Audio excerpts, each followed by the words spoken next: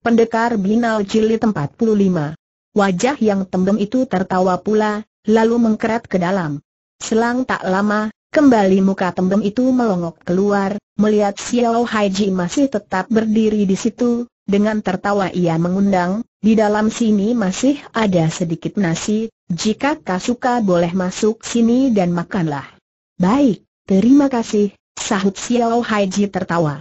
Ia tidak merasa rikuh dan juga tidak merasa sungkan, segera ia masuk ke dalam sana terus makan apa yang disuguhkan padanya, sekaligus ia menghabiskan delapan mangkuk nasi, habis makan ia lantas berbangkit dan mengucapkan terima kasih dengan tertawa. Muka yang tembem itu terus mengawasi dari samping seakan-akan merasa anak muda ini sangat menarik. Ketika Xiao Haiji memberi hormat dan mau pergi, Muka tembem itu tertawa dan berkata, di sini masih kurang satu tenaga cuci mangkuk piring, jika kau sudi, rasanya setiap hari takkan kekurangan makan bagimu. Xiao Haiji berpikir sejenak, jawabnya kemudian dengan tertawa, tapi takaranku makan sangat banyak. Orang muka rumah makan masakah takut si perut gentong icap si muka tembem. Tanpa pikir lagi Xiao Haiji terus meraih Umar dan Baskom, katanya, di mana mangkuk piring yang harus ku cuci? Esoknya barulah Xiao Haiji tahu bahwa tempatnya bekerja adalah dapur restoran Suhejun, sebuah restoran cukup besar. Si muka tembem adalah kokinya, bernama Tio Tiang Kui. Maka mulailah Xiao Haiji bekerja sebagai pencuci mangkuk piring, diketahuinya bahwa setiap orang kalau bersembunyi di dapur sebuah restoran, maka siapa pun sukar menemukannya, apalagi mengenalnya. Soalnya dapur sesuatu restoran pada hakikatnya ada dunianya tersendiri.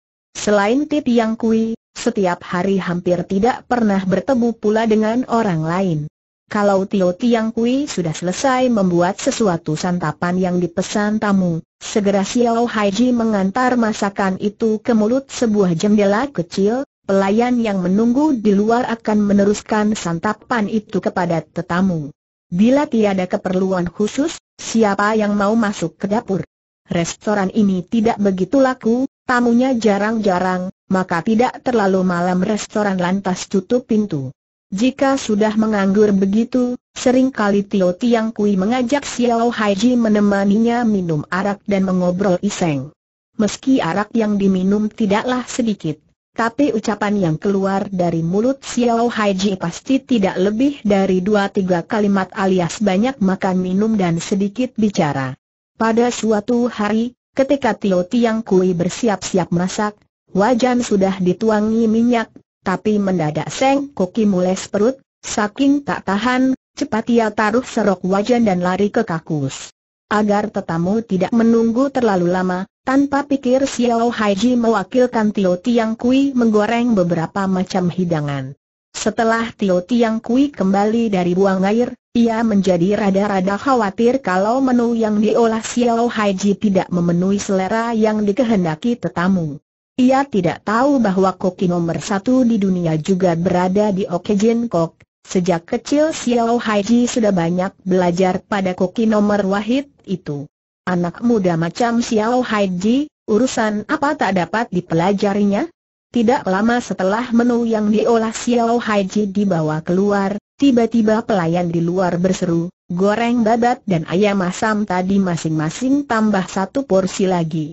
Dengan sendirinya sekali ini Tio Tiang Kui tidak membiarkan Xiao Haiji turun tangan lagi, ia sendiri yang mengolah pesanan itu. Tapi selang sejenak pula, tiba-tiba Panglopan, Juragan restoran Suhem Jun itu, masuk ke dapur, katanya dengan melotot, siapa yang membuat goreng babat dan ayam asam tadi. Bahwa Seng Juragan sendiri sampai masuk ke dapur, hal ini sudah membuat hati Tio Tiang Kui kebat-kebit. Terpaksa ia menjawab, dengan sendirinya aku yang membuatnya. Tidak, rasanya tidak betul, jelas bukan karya tanganmu, kata Seng Juragan. Terpaksa Tio Tiang Kui bicara terus terang apa yang terjadi. Pang Lopan mendekati Xiao Haiji, dipandangnya dari kanan ke kiri dan dari atas ke bawah sampai sekian lamanya, habis itu mendadak ia mengacungkan ibu jari dan berkata dengan tertawa, kagum, sungguh kagum, Tidak nyana usia semuda kau ini sudah mahir mengolah santapan sehebat itu, sampai Hem Loya juga berteriak memuji kelezatannya, maka mulai saat ini silakan kau yang memegang kunci dapur. Ah, mana aku sanggup, ucap Xiao Haiji. Perlahan Panglopan menepuk bahu Xiao Haiji, katanya dengan suara halus, harap kau bantu, selanjutnya Su Hem Jun harus mengandalkan dirimu. Orang yang punya kemahiran, bekerja apa pun juga tetap menonjol, seperti sebatang obeng berujung runcing yang tersimpan di dalam karung, mau tak mau ujung itu pasti akan membobol dinding karung. Setelah Xiao Haiji diangkat menjadi koki, secara ajaib, restoran Suhem Jun terus berkembang dengan pesat, tamu-tamu yang bertempat tinggal beratus li jauhnya juga mendengar bahwa di Suhem Jun terdapat seorang koki yang mahir. Pang Lopan mulai memperluas usahanya, ruangan di kanan kiri sudah dibelinya, Beberapa ruangan fit telah dibangun dan dengan sendirinya di bagian dapur juga telah bertambah tenaga. Kini Xiao Haiji cukup main serok wajan saja dan segala apa pun beres. Malahan waktu dia mengolah santapan, pikirannya tetap pada isi kitab pusaka ilmu silat itu, seperti pemuda yang sedang sakit rindu, siang dan malam ia terus peras otak merenungkan ilmu silat yang pernah dibacanya itu. Kini, orang lain sama memanggilnya Jito Asuhau, Seng Guru Besar Ji, dengan sendirinya guru besar dalam bidang memasak. Apa yang diucapkannya adalah peraturan, dia melarang orang yang tak berkepentingan masuk ke dapur, bahkan Seng Juragan Pang sendiri tidak berani masuk ke situ. Tapi pada suatu hari Seng Juragan Toh masuk juga ke sana, dengan bersemangat kegirangan ia berkata kepada Xiao Haiji dengan tertawa sambil gosok-gosok kedua tangannya, Ji Laute, hari ini kau harus bekerja lebih tekun. Coba terka, siapakah tamu kita hari ini? Siapa? Tanya Xiao Haiji tak acuh. Tokoh utama, Satria terbesar di daerah Oh Lam dan Oh Pak sini hari ini ternyata sudah berkunjung kemari, ini berarti suatu kehormatan besar bagiku, bahkan suatu kehormatan bagimu, Ji Laute. Tergerak hati Xiao Haiji, segera ia bertanya, siapakah beliau? Pang Lopan mengacungkan jempolnya dan menjawab, Tibu Siang, Piloyacu, orang Kangou menyebut beliau dengan julukan Aye Chai Jibeng, Sayang pada orang berbakat laksana sayang pada jiwa sendiri. Setiap orang di daerah kita ini pasti kenal nama beliau. Oh, begitukah ucap Xiao Haiji, sikapnya tetap acuh tak acuh seakan-akan betapa hebatnya tokoh itu toh tiada sangkut pautnya dengan dirinya. Tetapi setelah selesai mengolah makanan, diam-diam ia keluar, untuk pertama kalinya dia keluar dari dapur. Ketua Perserikatan Dunia Persilatan Daerah Olem dan Ohpak, Aye Chai Jibeng Tibusyang. Nama ini sungguh menarik baginya, dia ingin tahu bagaimana macamnya tokoh yang sayang kepada orang yang berbakat ini hingga orang jahat seperti Little Ajui juga dipungutnya menjadi menantu. Bahwa ada seorang tokoh yang berani menyerahkan putri kesayangannya untuk diperistri oleh Little Ajui, Betapapun orang begini sangat dikagumi Xiao Haiji. Di sebuah ruangan VIP, ruangan khusus untuk tokoh penting, yang dipajang indah dan teraling-aling oleh pintu angin, dari sela-sela pintu angin itulah Xiao Haiji mengintip. Dilihatnya seorang kakek berwajah merah bercahaya, berjenggot putih dan berjubah merah, duduk di kursi utama pada meja perjamuan itu. Meski tersenyum simpul, tampaknya ramah tamah, tapi sikapnya keren berwibawa, jelas itulah gaya seorang yang biasa memerintah dan berkuasa, sikap demikian ini sukar ditiru oleh orang biasa. Hanya memandang sekejap saja Xiao Haiji lantas yakin orang tua inilah pasti Tibus yang adanya. Di sebelah kanan Tibus yang duduk seorang lelaki setengah baya, bertulang pipi menonjol dan berhidung besar seperti paru elang. Sorot matanya yang tajam memang mirip mata elang yang jelalatan. Dan di sebelah kiri Tibus yang ternyata duduk Tio Choan Hei, itu Chong Piao tahu dari gabungan 17 Piao Kiok atau perusahaan pengawalan yang terkenal dengan kepalan besi menggetar Kangou itu. Melihat Tio Choan Hei, Xiao Haiji jadi teringat kepada peristiwa mencari harta karun di gua belakang Go di San dahulu, Waktu itu tokoh besar dunia pengawalan ini munduk-munduk dan menyebut Lo Ciampu padanya dengan sangat menghormat. Sikapnya yang lucu itu sungguh menggelikan bila teringat sekarang. Selain ketiga orang itu, hadir pula pada perjamuan malam ini delapan atau sembilan lelaki gagah kekar dengan pakaian mentereng, tampaknya juga tokoh terkemuka dunia Kangong. Cuma ada juga di antara hadirin itu yang menarik perhatian Xiao Haiji, yakni dua pemuda baju ungu yang berdiri di belakang Tibu Siang, usia kedua pemuda ini baru likuran, sikap mereka sangat menghormat terhadap tokoh-tokoh yang hadir dalam perjamuan ini. Tapi bagi pandangan Xiao Haiji, sekali lihat saja lantas tahu kedua anak muda ini jauh lebih lihai daripada orang-orang yang dijamu itu. Pemuda baju ungu yang sebelah kiri beralis tebal dan bermata besar, Mukanya kehitam-hitaman sehingga menyerupai seekor harimau kumbang, seluruh badannya penuh kekuatan, sekali turun tangan pasti mengejutkan orang. Sedangkan pemuda baju ungu sebelah kanan bermuka putih bersih, sopan santun, tampaknya seperti anak pelajar dari keluarga terhormat yang lemah lembut, tapi sekilas melirik, segera kelihatan sorot matanya yang tajam. Kedua anak muda itu memegang poci arak dan mewakilkan tibus yang menuangkan arak bagi hadirin, agaknya mereka kalau bukan anak keponakan tibus yang tentu juga muridnya. Setelah hadirin menghabiskan tiga cawan arak, mendadak Tio Choan He berdiri, ia menjura sekeliling kepada hadirin, ia menegak habis dulu isi cawannya, setelah berdehem, lalu berseru, hari ini Cai He memenuhi undangan Tilo Ciam Pual, Sepantasnya Cai He makan minum hingga mabuk dan kemudian pulang, tapi sebelum mabuk rasanya mau tak mau Cai He harus mengutarakan beberapa patah kata isi hatiku. Tibus yang mengelus jenggotnya, katanya dengan tertawa, katakan saja, kalau tidak bicara, mana dapat minum arak dengan leluasa. Lelaki yang bertulang pipi menonjol dan berhidung besar juga berkata, Tio Chong Tiao tahu ingin bicara sesuatu, sudah tentu Cai He siap mendengarkan. Dengan mata melotot Tio Choan He lantas berteriak, bahwasanya Toan Hapui hendak mengirim satu partai barangnya ke Kuhan GWA, untuk ini kami pihak Liang Ho Piao Lian, gabungan perusahaan pengawalan Provinsi Holam dan Hopak, telah mengirim utusan untuk berunding dengan Toan Hapui. Kejadian ini kiranya cukup diketahui oleh kawan-kawan dunia Kangong, Betul, Cai Hai juga pernah mendengar berita ini, ucap si lelaki hidung besar dengan tersenyum. Jika Lecong Piao To sudah mengetahui urusan ini, sepantasnya tidak lagi mengirim orang menghubungi Toan Hapui dan merampas pekerjaan yang telah diserahkan pada kami, seru Tio Choan Hei dengan bengis. Sudah lama ku dengar Heng San Eng, elang dari Gunung Heng, Lehang adalah ksatria berbudi dan setia kawan, tak tahunya, hektometer. Prak, mendadak cawan arak yang digenggamnya termas hancur.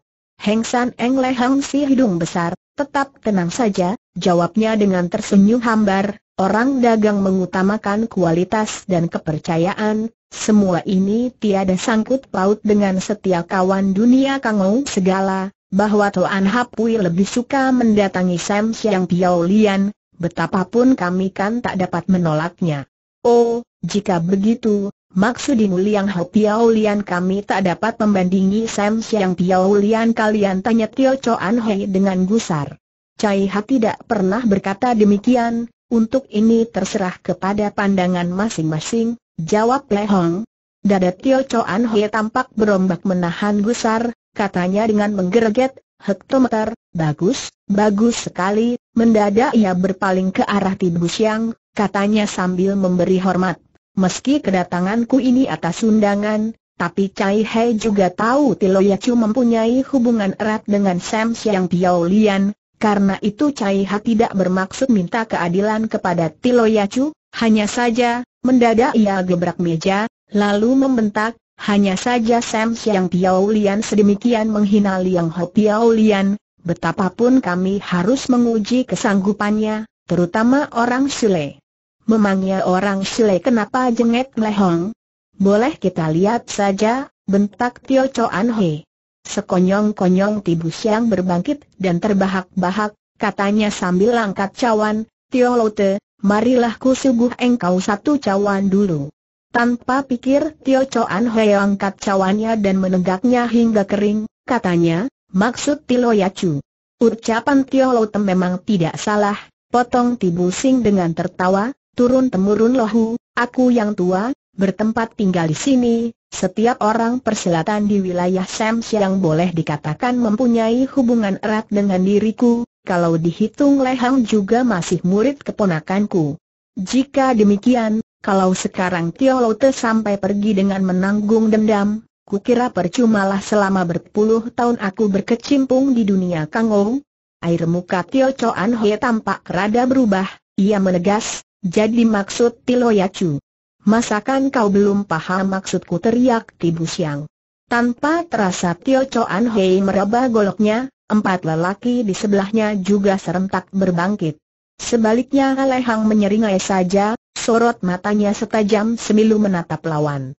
Apakah maksud Tilo Yacu hendak menahan diriku di sini? Tanya Tio Choan Hei kemudian dengan sekata demi sekata. Tibus yang tergelak-gelak, katanya, betul, memang hendak kutahan kau di sini untuk mendengarkan beberapa patah kataku. Mendadak ia menarik muka, Sorot matanya beralih ke arah Lehong, lalu berkata dengan suara berat, jika aku menghendaki menyerahkan pekerjaanmu itu kepada Liang Ho Piao lalu bagaimana pikiranmu? Seketika air muka Lehang berubah hebat, jawabnya dengan tergagap, ini, ini. Tidak perlu ini dan itu, aku tidak ingin memaksa kehendakmu, ucap Tibu Siang. Urusan ini sudah kuselidiki dengan jelas dan memang kesalahan berada pada pihakmu, sekarang kalau kau mau menerima usulku, maka sebagai imbalannya akan kuserahkan kebun teh milikku di Hengsan itu sebagai milik perusahaan Sam Siang Piao Lian. Sebagai sesama orang Kangou, hendaklah lebih mengutamakan rasa setia kawan, untuk ini harus kau camkan lebih jauh.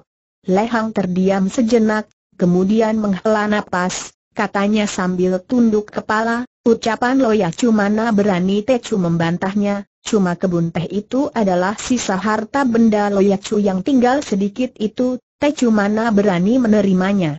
Tibus yang tertawa, katanya, asalkan kau tidak melupakan setia kawan sesama kaum persilatan dan tidak membuat anak murid golongan kita dicaci maki orang, maka sedikit harta milik itu apa artinya bagiku. Tio Choan He juga terdiam sekian lamanya, air mukanya tampak merasa malu diri, katanya kemudian sambil menunduk, Tio Yacu ternyata berbudi luhur, sebaliknya Tecu. Tecu sungguh merasa malu, biarlah pekerjaan ini tetap diurus saja oleh Sam Siang Piao Lian.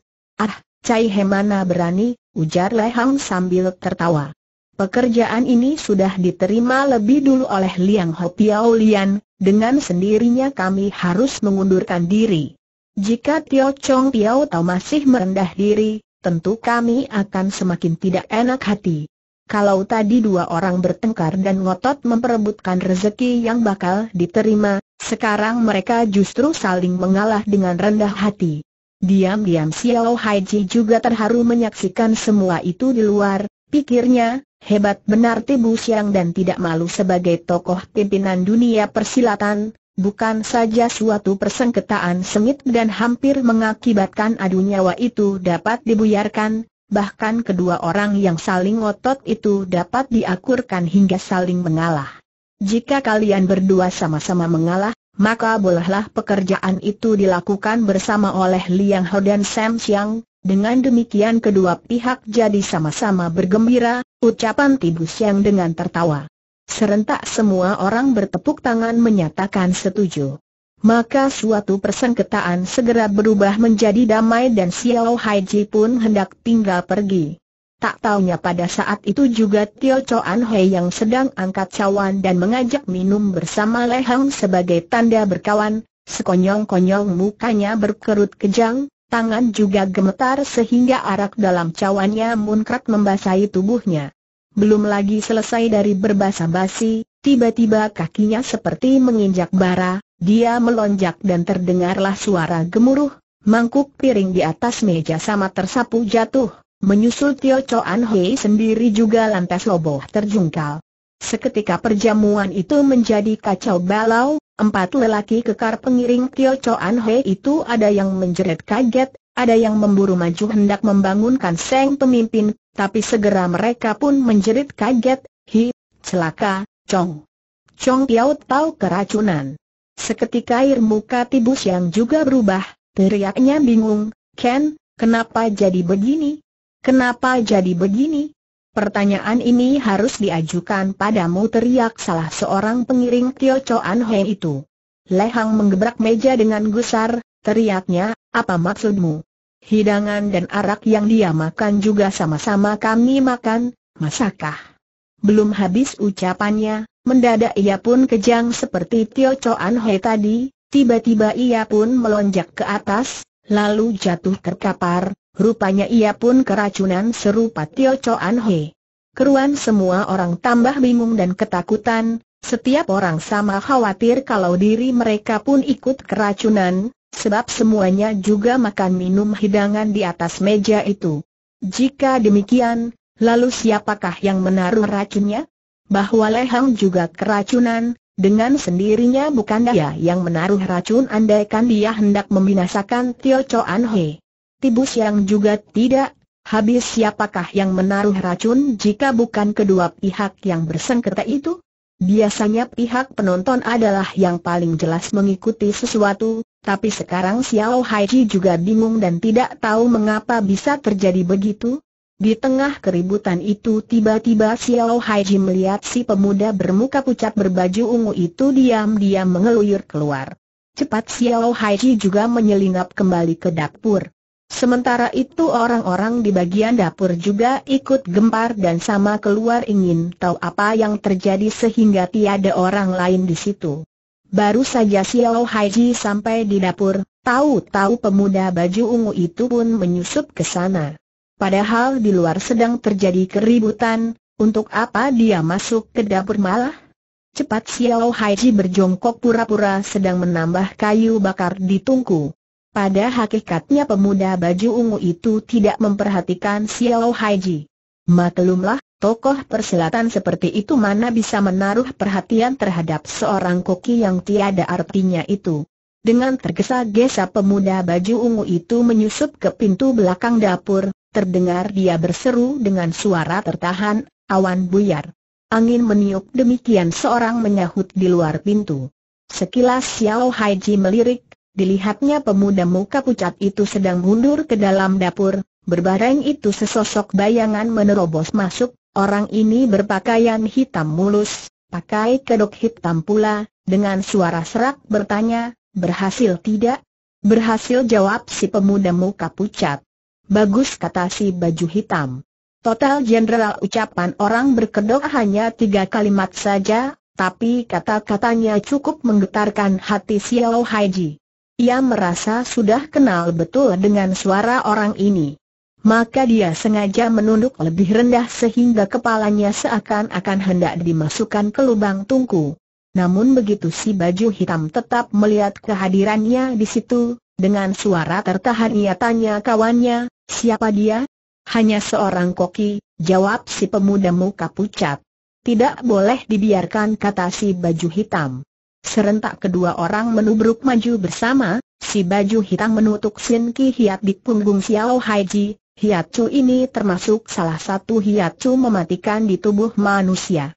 Tapi Xiao Haiji sama sekali tidak menghindar, hanya diam-diam ia mengerahkan tenaga murni, titik Hiat Chu itu mendadak ia geser sedikit ke samping, yang digunakan adalah Ihyatai Hoat, ilmu mukjizat memindahkan tempat Hiat ilmu yang paling tinggi dalam ilmu silat. Walaupun belum sempurna dilatihnya, tapi sudah jauh daripada cukup bagi Xiao Haiji untuk menghadapi keadaan begini. Dengan tepat tutukan si baju hitam mengenai sasarannya, tertampak jelas Xiao Haiji roboh tanpa bersuara, ia yakin orang pasti binasa. Maka sambil mendengus ia mengomel, siapa suruh kau berdiam di sini, kau sendiri yang cari mampus, bukan salahku. Care bagaimana matinya saja dia tidak tahu. Mana koki tolol ini dapat menyalahkanmu ujar si pemuda muka pucat dengan tertawa. Jaga dirimu dengan baik agar tidak dikenal orang, kata si baju hitam dengan suara tertahan. Ya, aku tahu, jawab si pemuda muka pucat. Lekas keluar sana, jangan sampai menimbulkan curiga orang, pesan pula si baju hitam. Pemuda muka pucat mengiyakan. Segera ia lari kembali ke ruangan depan. Sudah tentu mereka tidak menyangka seorang koki ternyata memiliki ilmu silat mukjizat. Mereka mengira apa yang telah dilakukannya pasti di luar tahu siapa pun juga, maka mayat Xiao Haiji sama sekali tidak diliriknya mana pula diperhatikan. Xiao Haiji masih mendekam di lantai tanpa bergerak dan berlagak mati, tapi pikirannya terus bekerja merenungkan semua peristiwa yang dilihatnya ini. Yang paling menarik baginya adalah suara si baju hitam tadi, rasanya mirip benar dengan suara Kang Giok Long. Apabila orang itu benar Kang Giok Long adanya, lalu apa hubungannya anak murid Ibu Siang dengan Giok Long? Muslihat keji apa pula yang sedang mereka kerjakan? Segera teringat pula oleh Xiao Haiji apa yang dilihatnya di kamar rahasia Kang Piat Ho tempo hari, antara lain ditemukannya botol-botol kecil racun yang sukar dicari yang tersimpan dalam kotak buku itu. Walaupun waktu itu cuma melihatnya sepintas lalu saja, tapi setiap malam racun di botol-botol kecil itu tidak pernah terhindar dari pandangannya, sampai kini dia masih ingat dengan jelas racun-racun itu antara lain terdiri Xiao Hun San, Puyer penghapus sukma, Bijinui, air mata si cantik, San Hui Cui, air pembuyar sukma, Swat Pek Ching, air salju pencabut nyawa, dan macam-macam lagi. Swat Pek Ching seru Xiao Haiji tanpa terasa sambil melonjak. Ya, betul, pasti inilah racunnya. Dari keadaan Tio Choan Hei setelah keracunan itu, bukankah kulit dagingnya kejang mirip orang kaku terbeku? Segera ia merobek serbet dan menuliskan resep dengan arang di atas serbet itu. Anak yang dibesarkan di Okejin Kuk memang serba tahu dan banyak pengetahuannya. Sedikitnya ia pasti tahu care bagaimana menawarkan macam-macam racun di dunia ini.